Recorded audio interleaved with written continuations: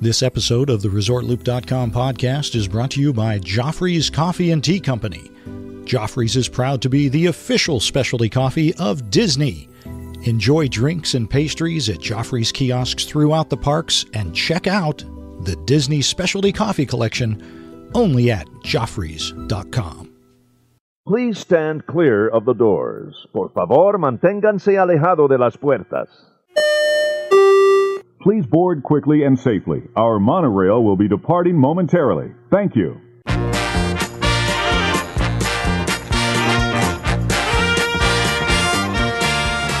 Hey, everybody, welcome to ResortLoop.com. I'm your host, Bob Collar. Uh, Tim has allowed me to uh, take over the microphone for this show because uh, I, I kind of needed um, to address a uh, the uh, PBS documentary, uh, The American Experience, Walt Disney. Um, I've kind of it's been a few weeks since this documentary came out, and uh, this uh, this topic has kind of been um, fermenting inside of me for a little while. I I, I wanted to make sure that uh, I wasn't going to give away any spoilers when I talked about it, so I allowed a little bit of time to uh, pass so that uh, you know if if you wanted to see it, see it. If you if you didn't see it yet. Um, I won't I won't talk too much about uh, some of the things that uh, um, you'll like about it. I'm sure, but um, let me just uh, let me give you a little bit of background on me uh, because I'm going to take a little different tack than a lot of the uh, uh, Disney blogs and and other podcasts have taken on this. Um, because I have I have a little bit of experience in documentaries. I uh, I studied uh, uh, broadcasting at Youngstown State University. I actually grad- graduated with a degree with that uh, from Youngstown State University quite a long time ago. Um, I actually had some fantastic instructors, professors back then that. Uh, prior to me arriving at Youngstown State, they uh, they had a young man by the name of Edward O'Neill, was one of their uh, students, and um, uh, mo- most of you know him as Al Bundy, or uh, the grandfather on uh, Modern Family. Um, he actually went to Youngstown State, and I, I studied under some of the teachers that uh, that he studied under. So I know a little bit about what I'm talking about, where that's um, concerned. So.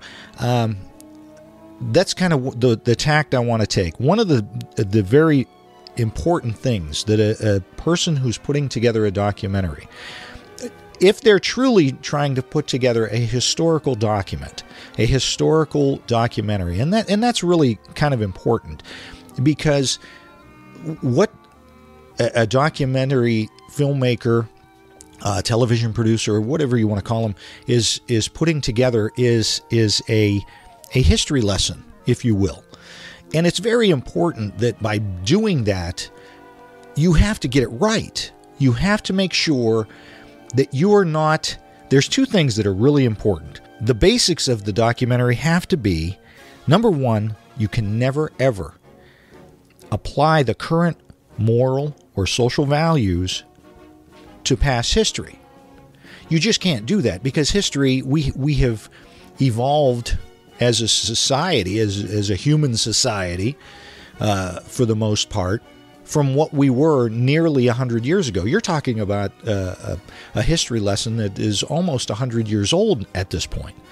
Uh, so you can never, ever take what we know today as morality wise and socially and apply those, those standards to what happened back uh, in, in past history. The, the second thing you can never do when you're when you're uh, writing about history or being a, a, documentary uh, filmmaker is uh, you never can apply uh, speculation or hearsay or your own opinion uh, or the, the opinion of others uh, that really either didn't experience this history or are simply just um, giving their opinion on that history. And um, in my opinion, and granted, I don't have the, the background that these producers at, at PBS uh, have. I've I have produced, directed, and uh, edited, filmed a, a documentary, um, but I don't certainly don't have their credentials. However, um, they they failed on both of those points. Two of the biggest points that you want to make.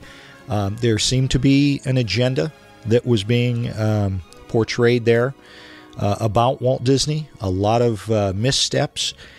The fact that they had um, the access to the massive Disney files. They had access to the Disney Studio archives, they had access to the Disney Family Museum archives, they had access to people who worked specifically with Walt back in the day. And yet, the first half of the documentary, um, they used pundits, they used um, historians that didn't know Walt, had no I mean, they had they had heard about Walt, they had studied a little bit about Walt, but they, obviously they didn't know Walt, and um, they just gave their opinion on what they thought Walt might be thinking at the time. And uh, for some of our loopers out there that, that actually practice law, you know you can't do that. you can't put words into someone else's mouth. Even the people who worked directly with Walt couldn't necessarily say this is what Walt was thinking at the time. Um, was Walt a human being? Absolutely. We all know that. He was a human being, but he created something that has withstood almost a hundred years I mean, think about that. Almost a hundred years. And uh, I think what, what this documentary was trying to do was um, was was bring that down a little bit to not give it the credit that it certainly deserves. That we all, as as Disney fans, um, think that it deserves. Um, again, the, the the thought, the fact that they used, they had they had Marty Sklar, they had um, uh, Floyd Nor- Norman. They had Alice Davis. They, they had all of these, Ron Miller. Uh, they had all of these Disney legends that uh, that they did not access. Um, as and and when they did access them, and I know this from from my own experience. You when you when you're filming a, a documentary, you are you record hundreds and hundreds of hours sometimes. And I'm sure in their this case, uh, especially, they they recorded hundreds of hours of interviews. And yet the interviews that they picked out were interviews that um, did not necessarily put Walt in a a positive light. For those of you who have seen it, um, and that that I, I think is unfair. That's that's not their job should have been this is who this person was this is this is who Walt Disney was this was his history and this is what he created allow the viewer to decide what type of person Walt Disney was um, one of the things that uh, a lot of the folks are talking about on uh, uh, social media are, is uh, the relationship with uh, his father um, one of the great Disney um, biographies I think, was written by Bob Thomas, and it's uh, um, an American original Walt Disney. Uh, fantastic. I've read this thing a couple of times now. Great biography. He talks about how Elias actually went and worked uh, alongside of his son in the Disney studios. They had an, a great relationship. Walt simply didn't follow in his father's footsteps, he created his own path. And for us, that worked out quite well. I mean, we, we've got all of the things that we have to show for what Walt did because he didn't follow his father's footsteps. Um, they also, in, in the um, documentary, they, they spent an awful lot of time, an awful lot of time talking about uh, the strike. And um, I have a little bit of insight uh, to that too, because I had uh, in in our day and age. A lot of us uh, work for corporations. I work for a corporation right now, and it's different working for a corporation than it is working for a family-run business. I had the I had the the honor and benefit of working for a a person very much like Walt Disney, and I'm, I, I won't divulge names, but uh, because I don't have the authority to do that, I, I didn't clear it with the the family. Um, but this person uh, created uh, a similar uh, broadcasting industry, uh, not a movie industry, but a, a, radio and television industry. And um, he created, started it in his in his uh, bedroom, his upstairs bedroom of his house, and built it into the number one broadcasting organization in the area. He also went through a strike, very similar, and, and around about the same time as Walt Disney went through a strike. And I, again, I know this this person personally. I've I've known his family for a, a very very long time, and so I got to see some insight as to what that meant to him when when the uh, employees went on strike, and it wasn't so much of a, an attack on his company, but it was a, a personal attack because you got to remember Walt Disney, he built that company. It was it was like a child to him. It was his creation, even though they went public and they were sold on the stock exchange and all of that. He, it was still his baby. It was still his lifeblood. And when the strike happened, much like to this friend of mine, when the strike happened, it was very personal and, and it cut very and hurt very deeply because uh, it, they were attacking his creation, his child, everything that he had worked so hard for and um, it's difficult for someone that is as focused as as these gentlemen that that have created so much to to not allow it to become personal um, because of that. I mean, we're we're again we're used to a society now where corporations run everything, and a CEO doesn't really have that that passion, and and it's a company to him. He's running a company. He's running you know thousands of employees and whatever happens, happens. But uh, to someone who built that company from the ground up and someone is attacking it saying, you're not being fair to us when, and, and, a lot of cases, if you re- truly read the Disney history, Disney took care of his employees. Um, one of the uh, quotes from uh, um, Bob Thomas's book, he talks about um, when the the rumors started to circulate um, that uh, the studio was fostering a class distinction. He, he goes on to write one of the rumors that the girls were being trained to replace higher priced male artists. Not so, said Walt. The girls were being trained to make them more versatile employees, to prepare for the future when men might be drafted, and to give women equal opportunities with men. That's from Bob Thomas's book, uh, Walt Disney, an American Original. So, uh, but that's not what was portrayed in in the PBS documentary. They made it seem like Walt, you know, there was a class uh, hierarchy within the studios. Um, that women were resigned to the paint and ink department. They weren't going to go anywhere any further. And again, goes back to what I said: you don't apply today's standards to what was going on in the in the past, because really, I mean, if you think about it, back in the the uh, early 30s, late 20s, early 30s, most women were, if they were in the workforce, they were waitresses and, and nurses and, uh, and um, teachers. So to have him bring these these folks on to do this work and then to, to promote them within the studio, um, they didn't touch on. They didn't even talk about that. Didn't even talk about that. And then they went on to talk about Walt's attack on Art Babbitt, the the artist who who was instrumental in drawing Goofy.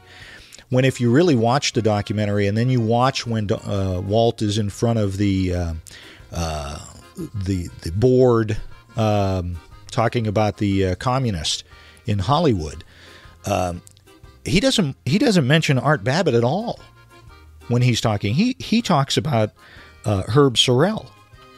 That's who he that's who Walt mentions when when he talks about being communist. He's not talking about uh, Art Babbitt at all. Again, you know, you, you just want to tell the story. You don't want to put a spin on it, but they they decided they were going to put a spin on it. And here's the problem with that. What is true? What is true and what is not true when you start to spin things like that? Because uh, I, I did a little bit of research, and according to author Peter Schweizer, in his book, Reagan's War The Epic Story of his 40 year struggle and final triumph over communism. Schweizer cites that archives archives released by the Russian government after the fall of the USSR show that Sorrell was a Soviet spy. So Sorrell had always said he wasn't even a communist, and yet Peter Schweizer, in his uh, his book on Ronald Reagan, says that archives prove that he was indeed a Soviet spy. So now, which one are we going to believe? That's something you got to think about. Um, so, I guess the bottom line, what I'm what I'm really getting at here, is that you got to be careful. You got to be careful about what you're watching. Um, in this day and age, we have um, it, back in back in the old days, when you wanted to talk about something that you felt needed to be talked about, it was called an editorial. You had to you had to do an editorial on on broadcast television. You had to say this is an editorial. These views and expressions are not necessarily those of this station. Well, now we see this all the time. Uh, anchors and, and uh, pundits will talk about whatever they want to talk about and put their feelings in the story. And uh, right or wrong, that's what we're doing now. And uh, that is kind of what it seems like happened in this documentary. There are a lot of other things. I mean, you've all, you guys have, have read all of the, the blogs and um, the fact that he went down to South America, they made it seem like he was running to go down to South America uh, to hide from from that, but that was a scheduled uh, goodwill tour. Uh, they never touch on the fact that Walt Disney and the Disney Company um, did so much great work during World War II to help to help the American soldiers out. The the thing that I thought was funny was when they uh, they touch on that uh, the United States government used the studio as barracks for um, for the uh, uh, war effort. Now, the last time I checked, that that's why we fought the uh, American Revolution was so that the American the government could not just place troops into your homes, nor could they place troops in businesses without the consent of that business owner. And Walt Disney invited them to use the studio any way they needed to because he cared about the country, he cared about the war effort, he was trying to help out. Um, they also they never talked about uh, his, the contributions during World War II, nor did they ever ever touch on the fact that him and Roy started uh, Cal Arts. Cal Arts, the the school that John Lasseter graduated from. Cal Arts, the school that that uh, Walt wanted so badly to have all of these young artists come and learn the trade to help the animation world. Um, so uh, it's it's a it's difficult. The other thing I, I got to and I got to touch on this when when they were talking about prior to the strike and when they built a new studio in Burbank and how it was this. Uh, they made it seem like Walt was trying to create this utopian society where, you know, they could just live there and and uh, they had restaurants and and uh, uh, sports facilities and showers and they never had to leave and it was utopia. And have these folks ever been to Google or Facebook or Apple or any of these uh, Pixar? I mean, all it, all the things that Walt was doing back in the 30s the really, really good companies of today are now doing, and they're acting like, this, oh, well, this is, uh, you know, revolutionary. But that's not what they tried to pursue in uh, in this PBS documentary. So, I guess I'll stop ranting. I'll stop stop bouncing all over the place and just say this. I give the PBS documentary, The American Experience of Walt Disney, I give content wise, I give it a C minus. Now, that's a little high. I give it a D. And mostly because the entire first part of it, the first two hours, they don't even talk with the people that knew Walt Disney. They talk to people who thought they knew what Walt Disney was thinking. And uh, that's not how you do a documentary, in my opinion.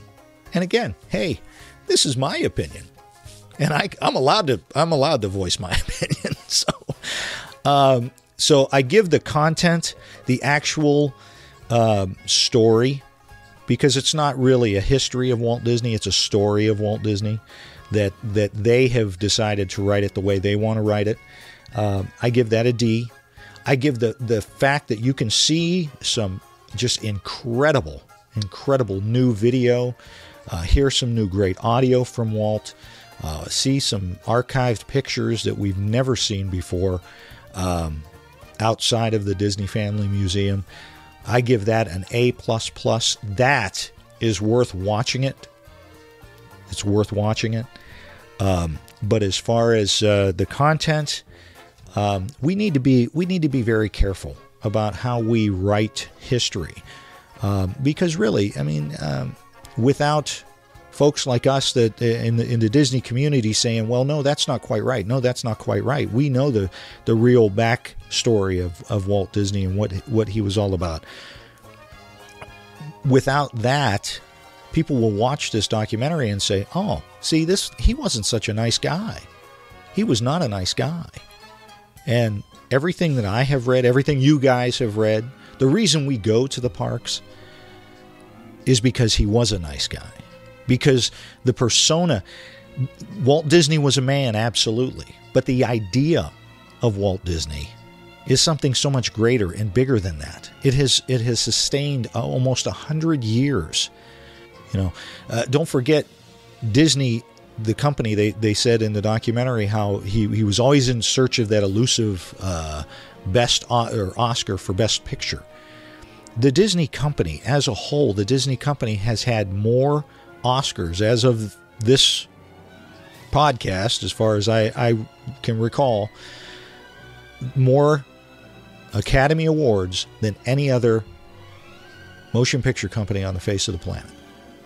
So, would he have liked probably to have an Academy Award? Probably. For Best Picture? Probably. I agree. I think some of the animated pictures rival those of the, the you know, uh, live action pictures. Uh, that's up to the Academy. That's not up to Walt or me or anybody else. That's up to them if that's the way they want to do it. Um, but the fact that he was able to achieve all of the things that he achieved, the the um, you know just being such a, a giving person, that the charities that uh, that the Disney company under his uh, leadership the, took care of and helped out, uh, or are there are so many you can't even name them all probably.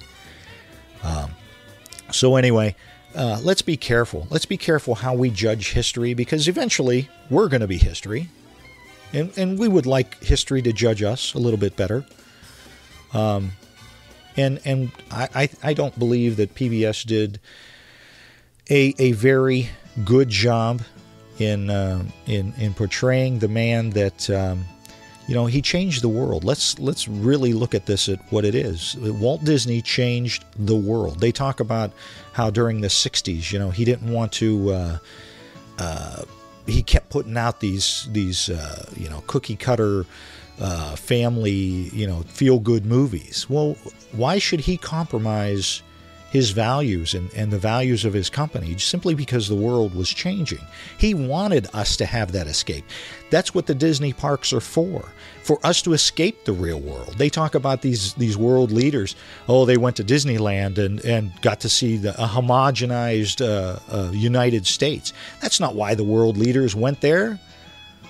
If, if those world leaders went to Disneyland to see what the United States was about, they were horrible world leaders. They shouldn't have been world leaders because they, I mean, really? They they knew what America was all about. They wanted to escape. They went there to escape the real world for just a few hours, which is why we go. And and when you hear these people want to tear down something that that is uh, that is good and wholesome and happy and and act like well that's it's not good then what is good what is good should we just continue to uh, you know, live in the real world and be in, in you know, feel horrible all the time? Or should we have a little bit of an escape and, and be able to, to take advantage of Walt of what Walt Disney gave us, which is that wonderful uh, theme parks, the wonderful movies, the the escape from the real world just for a little bit. So, um, you know, if if you look at the history of great human beings on this planet. Um, the Walt Disney, the Steve Jobs, uh, Bill Gates, and you can, you know, obviously there are critics. Obviously there are people that they stepped on their toes. They didn't like them. But they changed the world. These are people that have changed the world. And and it's not right to try and take that away simply because yeah, they were real people as well. And they were people that didn't really care for them. But they still if you look even to this day, the number one recognized face on this planet, no matter where you go in this planet, is Mickey Mouse. You show anybody anywhere in, on the face of this planet a picture of Mickey and they'll know who it is. I don't even remember who the producers of this documentary are. I don't think that they're going to have that same lasting effect as Walt Disney did. Anyway, that's my rant, folks. Uh, Tim, thank you so much for allowing me to uh, grab the microphone for this. Uh, that's my two cents. Um, if you guys, I would love to hear what you guys have to say about it. Uh, there are a lot of other uh, missteps in the in the documentary. Feel free to uh, follow along. a lot of other blogs have touched on it. I just kind of grazed the surface here. I was, I was feeling it inside and needed to get it out. I hope some of this made sense. And uh, for now, that's all I've got. And uh, you guys know where to find us on social media. So, as Tim says, uh, you've been listening to The Gateway to the Magic. See you, everybody.